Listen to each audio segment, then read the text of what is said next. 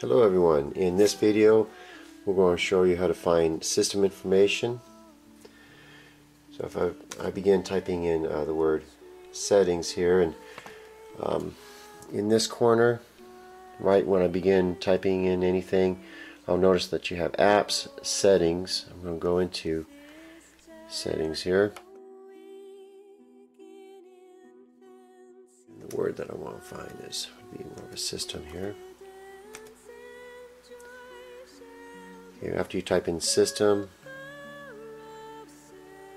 click on system and the uh, system window will open.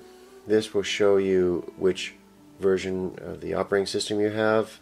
So here we see Windows 8 um, Pro. Down here would be uh, system ratings. So like for this particular computer it gets a 2.0 Windows Experience in the index, and that's the Windows Experience Index basically looks at the different hardware components that are found in your computer and then it rates them. If you have a number, um, here it goes all the way up to 9.9 .9 in Windows 8. Uh, the higher the number, the better the performance. So here we have a processor 4.7 memory at 5.5, graphics at 2, gaming graphics at 4, hard drive at 4.9.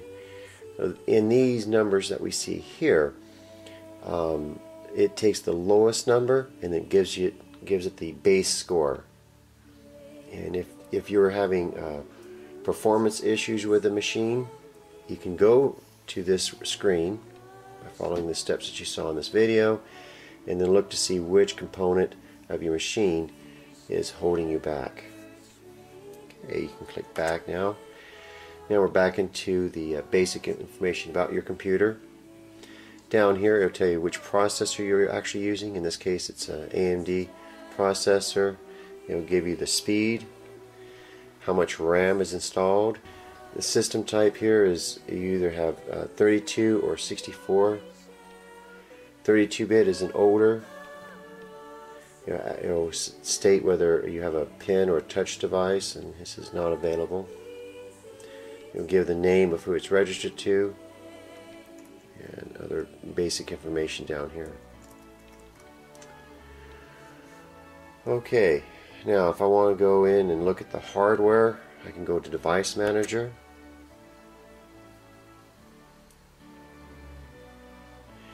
I'm seeing all my devices that are here. Um, if I go down here, I immediately notice something here with a yellow explanation mark and that simply means that I need to update my device drivers, its software, for this mass storage controller. And to do that, you can right click it and then simply say update device driver. Microsoft might be able to find it. We won't do it now, but if I was to do that, there's different options such as allowing it to find it on the internet.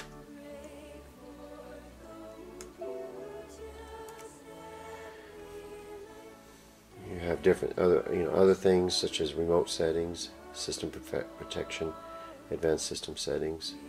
If we go into advanced system settings, there's some things to actually increase your uh, performance of the machine. Right here where it says performance settings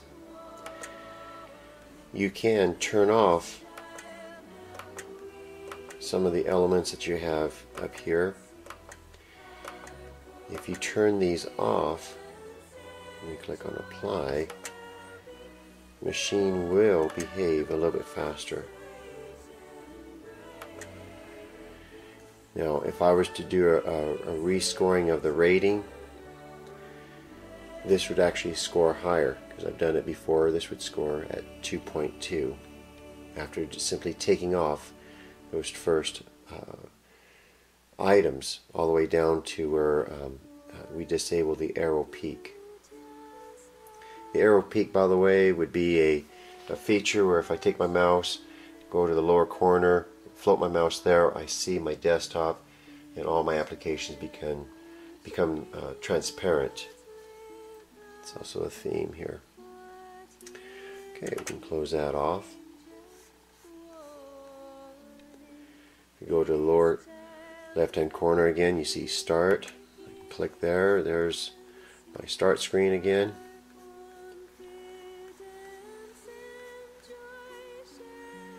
And so now in this video we were able to find the basic information on the computer. We were also able to change the performance of the machine.